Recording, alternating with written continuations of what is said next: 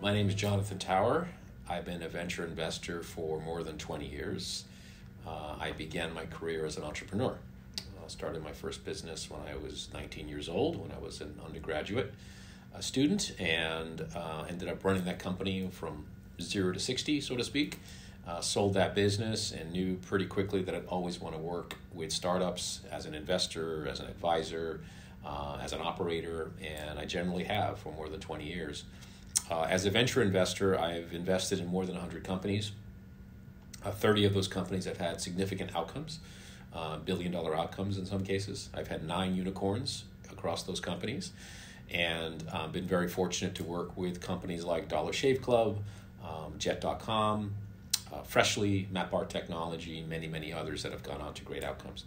Um, yeah.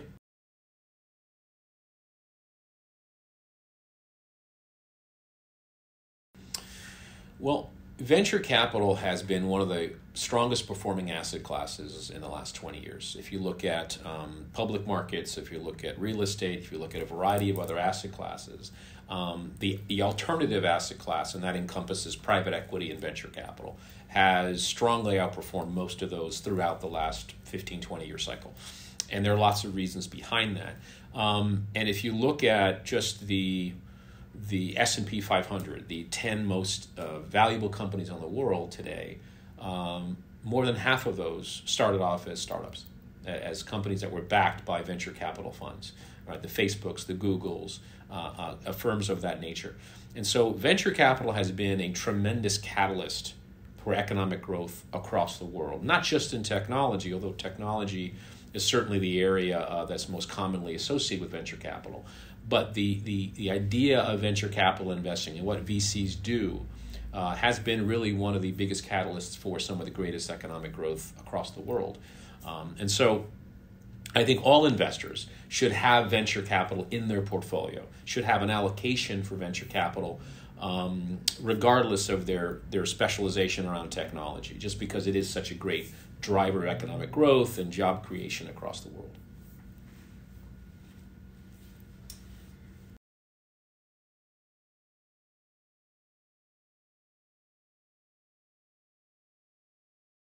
Yeah, I think you should be asking the questions of what am I solving for? What am I trying to accomplish as an investor? Obviously, we all want good returns on our money, but you can get good returns on your money in lots of different things. So, I think an important question that investors should ask is what am I trying to accomplish? Is it, um, am I trying to stimulate economic growth in my home market? Am I trying to get diversification in my portfolio across other other investments that I have?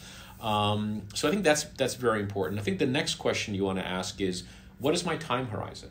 Right? What can I legit legitimately ask myself in terms of how long can I put this capital to work? Uh, do I need to get a return in a short time frame, or can I can I have my capital put to work for eight to ten years? Uh, I think where a lot of investors get it wrong is they don't have the right expectations. They don't ask themselves the right questions before they get into venture capital around the, the reality that this is a somewhat illiquid asset class. Right? This is not like buying a stock on the stock market. You can't just sell it whenever you decide you want to you want to get out of that particular security. Uh, there are long hold periods, so you need to make sure that that coincides with what your time horizon is and your risk tolerance as well. And are you prepared for that illiquidity at times? And I think the final question to ask is around that there are capital calls associated with your investment in a venture capital firm. In other words, if you make an investment in a fund, you're not giving them all the capital the first day you make the commitment. You do it over time through capital calls. And so you need to manage your cash flow situation in such a way that when those firms make those capital calls, you can meet those capital calls. You have the liquidity to continue to support that commitment. And I think some LPs don't ask that question.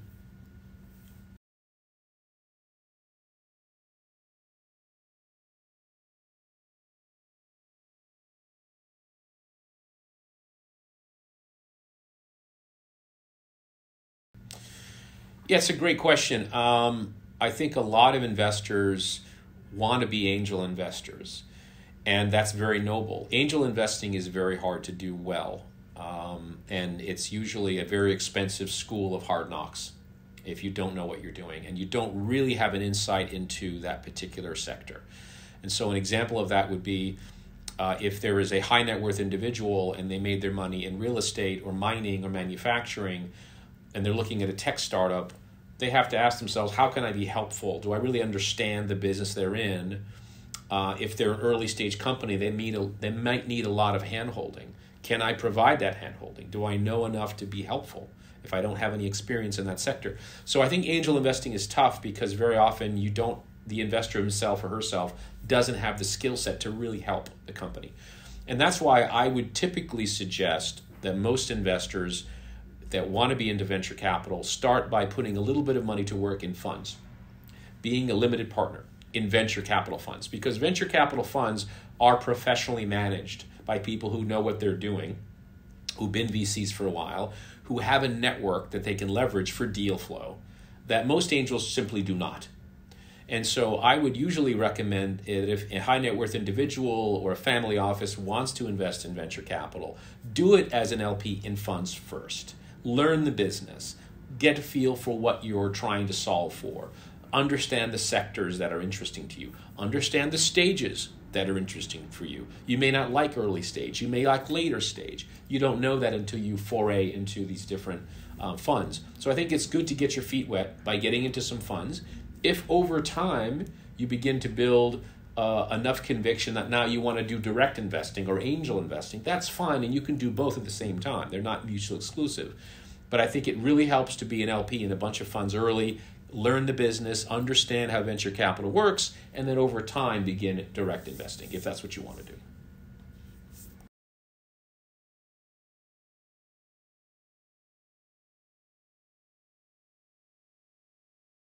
Yeah, so the, the short answer is, you know, early stage is high risk, high reward. Later stage is you know, a little bit lower risk, but also lower reward. That's sort of a very simplistic way.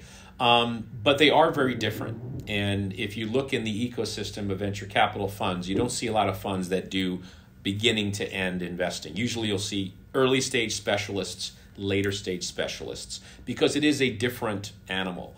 Um, by its very nature and by its name, an early stage company is going to have a lot more risk associated with it because it's very early, it's very young Maybe they don't have a product yet, or maybe if they have a product or service, there isn't much in terms of revenue. And so you have you have execution risk, you have product risk, you have technology risk, you have all these risks that you need to mitigate as an investor to get comfortable deploying capital. As the company gets more mature, a lot of those risks begin to go away because the company now has a product, you now have revenues for a period of time that you can then underwrite in terms of your investment thesis. Um, so now at that point becomes question of can the company continue to grow? It's proven that consumers want the product or businesses want the product. It's proven that it can generate revenue. Maybe it's proven that it can be profitable. Those are all the types of risks that you generally solve for as an early stage company. But as you migrate to a later stage company, those usually have gone away, and now it's a question of how big can this get? but your returns are going to go down because now the company is worth more. So your investment in that company is going to be a smaller share of that company. And so maybe in a later stage investment, you might hope for twice your money or three times your money back if it's a successful outcome. Early stage, we try to get 5 to 10x our money back because again, higher risk but higher reward. And we know that by investing in early stage companies, a lot of those companies will not materialize amount to much. They'll go to zero. And so we build that into our investment thesis so that as they go to zero, we still have enough companies that do really, really well to make up for all the companies that fail. So I say the most important thing to, to think about as an investor is where are you comfortable? Are you willing to take the early stage risk to get that higher return, return reward profile, or are you more comfortable with something that's a little bit lower risk, but also understand that your rewards are going to be probably a lot lower?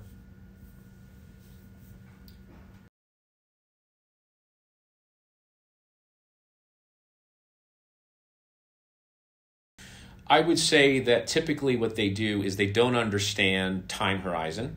Like I mentioned before, uh, it's very important to understand that venture capital is still a fairly illiquid asset class, and your capital is may not be creating the returns in a couple of years. It might be several years before you see returns coming back from your initial investment. So make sure you manage that risk, and some LPs don't. I say the second mistake that I see LPs make is they don't understand that when they're an investor in a venture capital fund, they don't have voice and vote in the investments that that fund makes.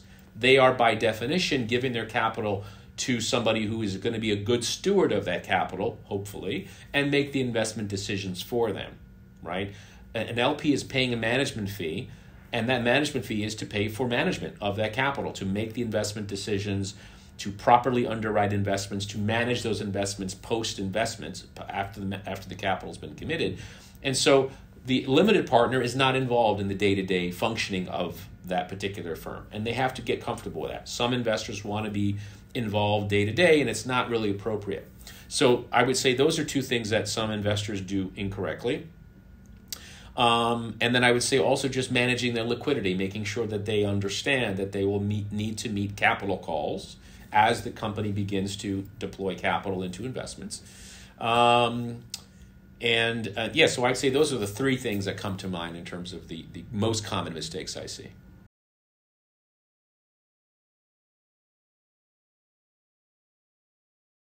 Well, every firm is different. Um, every venture capital firm has a different strategy of what they're trying to solve for. Obviously, good returns is probably first and foremost for most funds because without good returns, you won't survive. Your fund will go away, and that's the end of your your venture activities.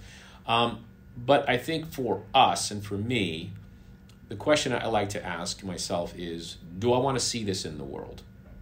When I back a founder, is the founder solving a complicated problem that has global implications, global reach. Do is this a problem around the world, or does it have the potential to solve problems around the world, or is it more of a niche opportunity that might only be applicable in this geographic region or this particular area? If it's too small, it's generally not the right opportunity for me. So I think that's number one. Um, and then I think thematically, what I generally gravitate towards are opportunities where there is a strong technology component to it. Um, and so, you know, are you solving a problem using a technology solution? Because when you solve it with technology, there's generally some differentiation around that. There's something that you've built that's hard to replicate that can be your competitive moat.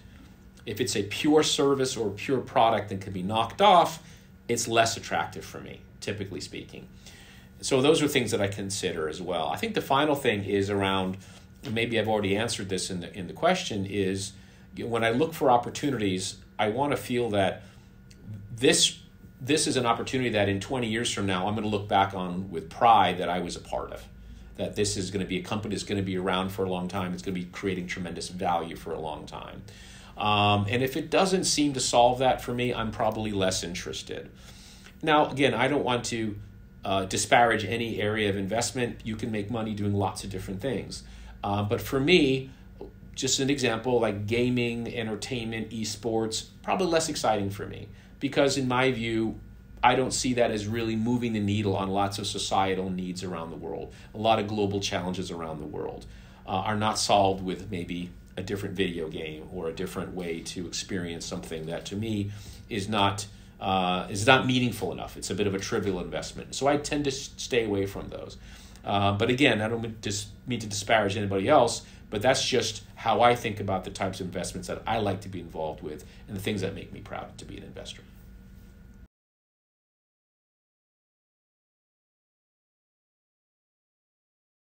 Yeah, um, I look for a number of things in my founding teams that I backed. Um, I think, above all, integrity, unwavering integrity. I don't like to invest in people that are dishonest or shade the truth or aren't transparent. So that's game changer for me.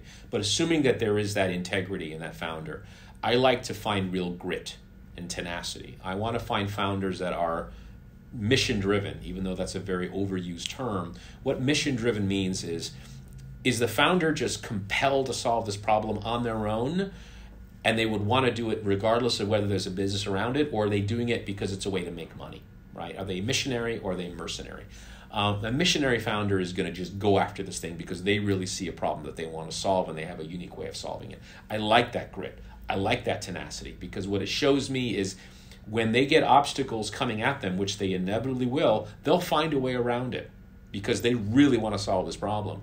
A founder that's more focused on the financial reward may just get discouraged if they get too much resistance, shrug and go back and get their job at their you know their last employer and give it up. And, and that's not what I want to back. I want to back founders that are really passionate about what they do and about solving a problem because I'm giving them capital to do it with. And so I want to make sure that they're a good steward of my capital. So I look for that grit, I look for that tenacity. And I'd say the final thing that I look for is coachability. Right? A great founder is confident, is headstrong, is a little bit stubborn, and you want that, but is also able to understand what they don't know and are able to take in information that may not be in concert with what they think is the right way to go, but is able to say, okay, I'm wrong. I'm willing to listen to people who have more experience than me. I'm willing to listen to people who can coach me to the right outcome. Uh, uh that's what a great founder can do. A founder that's too headstrong on a way forward and is wrong and is not willing to take in other advice is usually uh, is usually a disaster waiting to happen. So I look for those qualities in the founders that I back.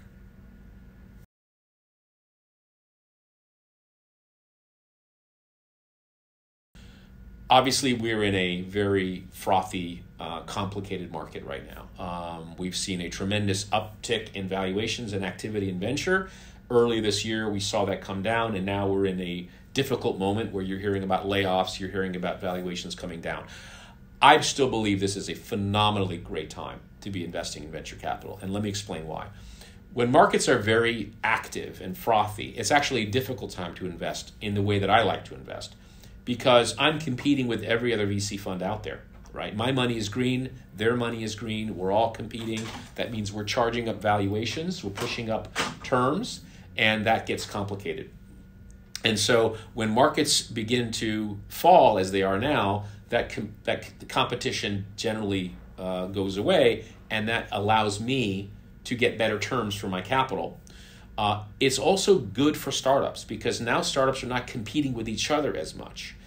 Even though it's difficult and it's sad to hear of startups that are failing and doing layoffs, it also means there's a lot more people available.